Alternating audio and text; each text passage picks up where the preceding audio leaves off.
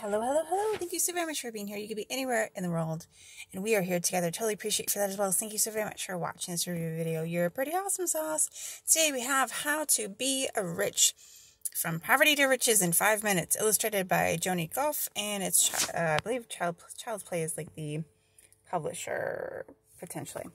And this is such a super cute little book. And so they're like, well, I'm not rich, right? And no, you're not rich. What happens when you lose a tooth?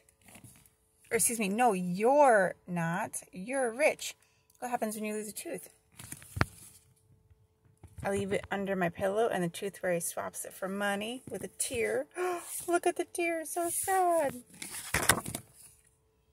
Well, then how much is your nose worth? How much is your foot worth? It goes through on and on, and you'll need to read the book to figure out the rest, but it's super cute perspective with regards to wealth Bye for now.